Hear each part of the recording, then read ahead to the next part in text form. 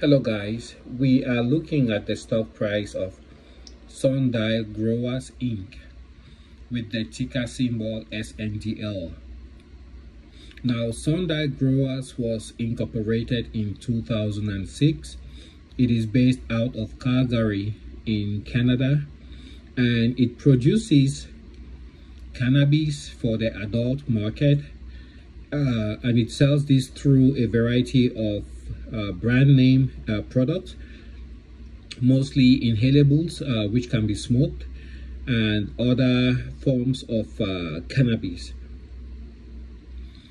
Now, the company will be releasing its uh, full financial results for 2021 on March 29th, 2022.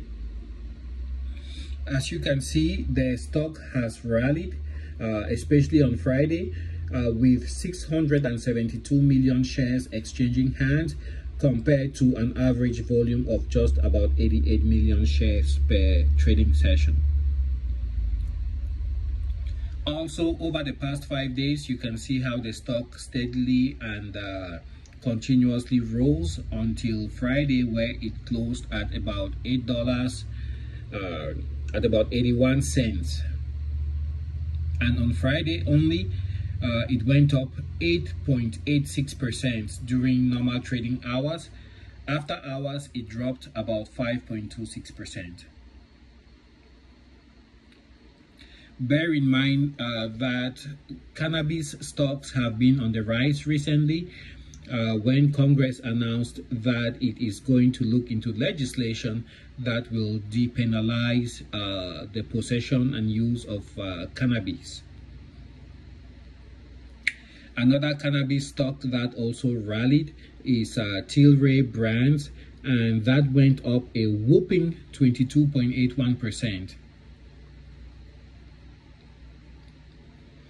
So as investors flock to these uh, cannabis stocks, please, please uh, do bear in mind that these stocks are historically very volatile and especially with sundial growers having uh, their earnings report on Tuesday do be careful if you're investing into this stock uh, if you are just following the momentum of the stock and investing uh, do uh, please do your own due diligence to find out exactly where you're putting your money.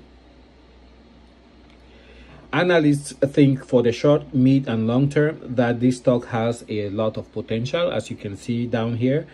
But uh, again once more i have to stress and i can't stress this enough uh, irrespective of Congress picking up uh, the discussion and trying to legislate on cannabis and cannabis use, uh, historically, at least for over the short period that I have been looking at these stocks, uh, cannabis stocks have been quite volatile. So be quite careful if you're considering to invest on these.